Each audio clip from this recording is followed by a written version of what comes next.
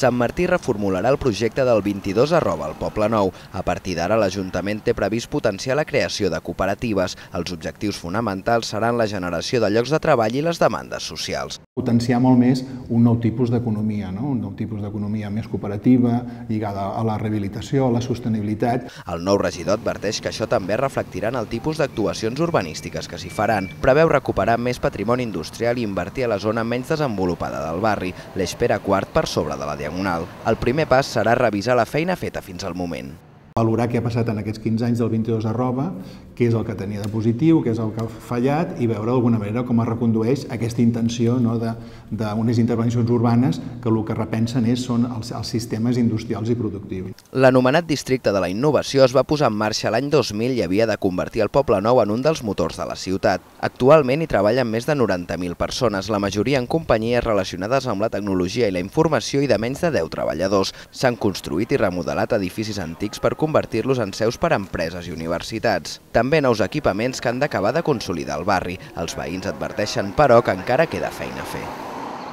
Completar eh, zones de desenvolupament urbà que actualment estan estancades, com és, el, per exemple, el carrer Pere Quart i d'altres, per exemple, fixar-se més, valorar més la importància de l'habitatge i, per exemple, les plantes baixes, l'activitat comercial o petita activitat eh, manufacturera urbana.